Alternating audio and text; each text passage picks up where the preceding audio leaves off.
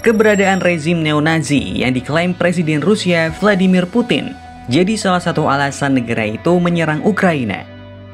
Benarkah neo-Nazi jadi ideologi yang dominan di Ukraina? Label neo-Nazi kerap disematkan ke kelompok sayap kanan yang mempraktikkan rasisme dan ultranasionalis ala Nazi. Di Ukraina, kelompok-kelompok semacam ini memang eksis. Mereka identik dengan narasi nasionalisme sempit dan anti-Rusia. Partai Swoboda misalnya jadi partai sayap kanan terkuat di Ukraina pada 2010, partai ini meraih 10% suara pemilu dan mendapat beberapa jabatan menteri. Namun, pada pemilu 2014, Swoboda hanya raih 4,5% suara. Bahkan pada 2019, Swoboda dan koalisinya gagal masuk parlemen Ukraina. Meski tak jadi kekuatan utama di pemerintahan, kelompok sayap kanan getol menyebarkan narasi-narasi mereka. Imbasnya, pada 2018, tercatat ada 178 insiden kekerasan berbasis kebencian di negara itu. Organisasi neonazi lain juga sempat eksis di Ukraina.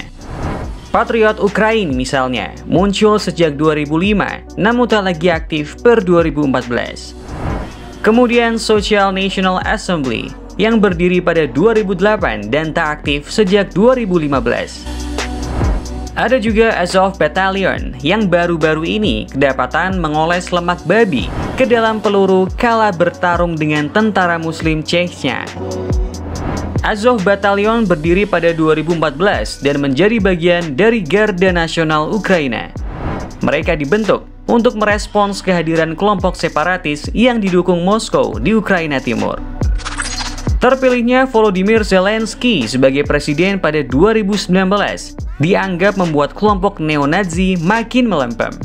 Ini karena Zelensky disebut-sebut sebagai pemimpin yang membawa agenda demokrasi. Insiden kekerasan berbasis kebencian juga menurun sejak Zelensky berkuasa.